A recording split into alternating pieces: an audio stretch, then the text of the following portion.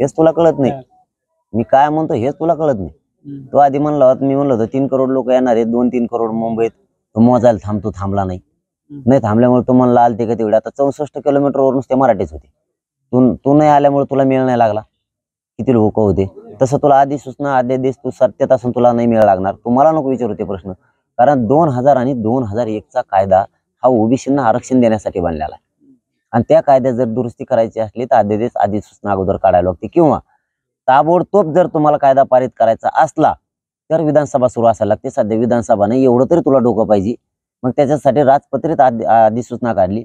आता त्याच्या त्या कायद्यात दुरुस्ती होणार आहे आणि मराठ्यांसाठी या अधिवेशनात येत्या चौदा पंधरा तारखेला अधिवेशन आहे, त्यात कायदा पारित होऊन त्याची अंमलबजावणी होणार आहे. एवढं तरी तुला कळत आम्हाला कळतंय अधिसूचना अध्यादेश म्हणजे काय? कारण एखाद्या मोठ्या कायद्यात जर बदल करायचा असला तर अधिसूचना काढल्याशिवाय पर्याय नाही. आणि विधानसभा असेल तर कायदा डायरेक्ट पारित करता येतो. तोच दुरुस्त करून ताबडतोब त्याचे कारण हा नवीन शब्द आहे सगळ्या सोयऱ्यांचा. आणि हे मराठ्यांसाठीचा पंच्याहत्तर वर्षातला सगळ्यात मोठा कायदा आहे. जर ह्यो लहान कायदा असता तू आणि तो एकही बगल बच्चे तो जे पडद्याच्या पाठीमागून राहून घातलेत पुढं याची का दाखल झाल्याच नसते.